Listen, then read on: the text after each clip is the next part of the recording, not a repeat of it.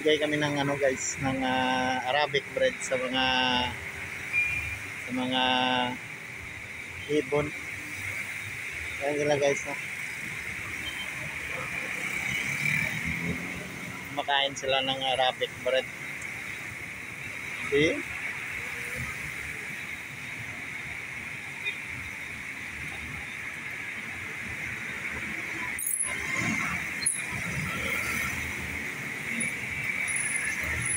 Dami nila oh. At sa Pinas to, wala na. Kainin na yan ng mga ano, tao. Pero dito hindi nila yan kinakain kasi ano daw, kawawa daw. Ang kinakain nila yung ah, ano, yung maliliit. Pero yung ah, ano tawag dito sa amin eh, sa probinsya namin na Kurokoko. Pag sa Pinas to wala na. Ubos na sila huli nito. Pero dito hindi nila kinakain yan guys kasi ah, kawawa daw.